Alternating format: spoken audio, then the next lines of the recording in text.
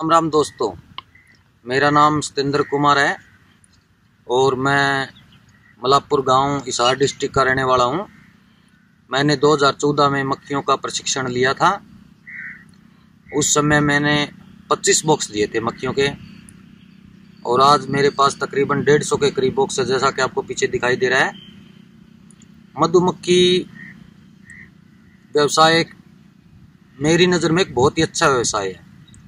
क्योंकि एक तो इसमें आपको ज़्यादा समय नहीं देना पड़ता। दूसरा, इसके साथ आप कोई अन्य कार्य भी कर सकते हैं। जैसे कि मैं खेती करता हूँ, खेती के साथ में मधुमक्खियों का व्यवसाय भी करता हूँ। अगर आप 25 या 30 बॉक्स लेते हैं तो बॉक्स लेने का सही समय ग्यारहवा महीना होता है। क्योंकि ग्यारहवा महीना के बाद लगातार चौथे या पाँचवें महीने तक शहद चलता रहता है। उस समय आपके बॉक्सों की संख्या भी दुगुनी हो जाती है और साथ में सेहत भी मिलता रहता है। आपके बॉक्स की कीमत भी पूरी हो जाएगी, आपके पास बॉक्स भी बच जाएँगे। और उसके बाद आपको करना क्या है कि सिर्फ़ इनको यूपी ले जाना है। यूपी ले जाने के बाद वहाँ पर बाजरे की दो दो फ़सल बेचती हैं।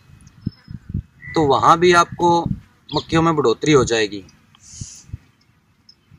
मैंने 25 से जब स्टार्ट किया था तो मेरे 50 बॉक्स सरसों के सीज़न के ऊपर हो गए थे। पचास ही बॉक्स वहाँ यूपी के अंदर बढ़ गए थे, सौ बॉक्स हो गए थे। अब हर साल मैं लगभग तीस या चालीस, पचास बॉक्स तक सेल कर देता हूँ। तो अकेले शहद से आमदनी नहीं होती। मक्खियाँ बेच कर आमदनी कर सकते हैं आप। आप अगर एक बार कार्य स्टार्ट करते हैं तो आप किसी से जानकारी लेते रहें। हमारे यहाँ सदलपुर यूनिवर्सिटी में डॉक्टर भी काफ़ी अच्छे हैं, उनसे भी जानकारी लेते रहें। वे आपकी हर प्रकार से मदद करेंगे।